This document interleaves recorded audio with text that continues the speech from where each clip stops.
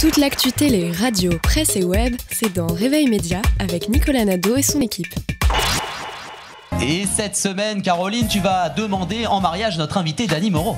Depuis que je fais des demandes en mariage aux invités, c'est la première fois que je suis en face d'un homme qui me correspond à ce point. Moreau, c'est l'anagramme d'amour. Moreau, Moreau c'est l'amour en désordre. Et ça tombe très bien parce que dans ma tête, c'est vraiment le désordre. La seule façon de me, fa- de me stabiliser, c'est de me marier avec vous, Dani. Dans votre spectacle, vous dites que vous avez les yeux de Marine Le Pen et le visage de Poutine. Et c'est là que j'ai compris. Vous êtes Marine Le Pen. Vous êtes Poutine. En fait, vous êtes tous les personnages de votre spectacle dans la vraie vie. En fait, vous êtes comme moi, quoi. Nous sommes atteints tous les deux de troubles dissociatifs de la personnalité. Vous n'êtes pas que Dany, vous êtes aussi Francis, Jean-Claude, Fabrice et tous les autres. Mais vous, vous avez réussi à en tirer profit. En plus, ce qui est extraordinaire, c'est que chacune de vos pers- personnalités est une célébrité. Moi, je n'ai aucune célébrité dans mes personnalités. Enfin, à part Audrey, qui a une petite notoriété dans un genre de cinéma qui ne se regarde qu'en privé.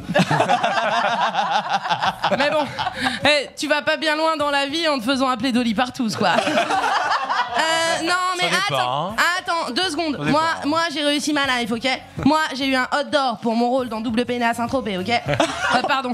Le problème, c'est qu'elles veulent toutes s'exprimer et c'est le bordel, quoi. Bref, vous, Dani, vous êtes président de la République, comédien, chanteuse, footballeur, que des gens importants, quoi.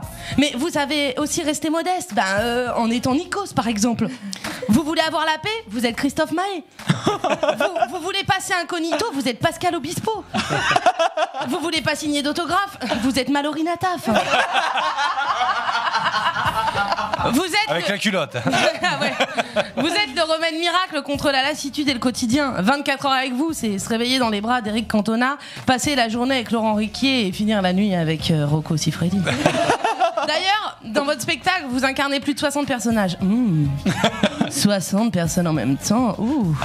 Ah, ça m'est pas arrivé depuis au moins hier.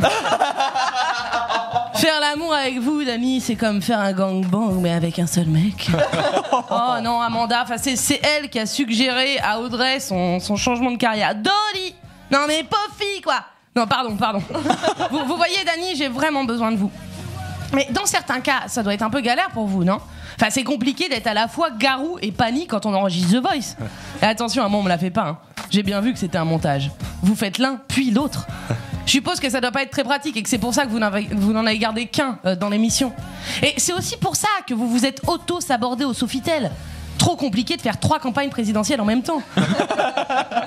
Hollande, Sarko, Strauss-Kahn, euh, il fallait en supprimer un, quoi. Mauvaise pioche.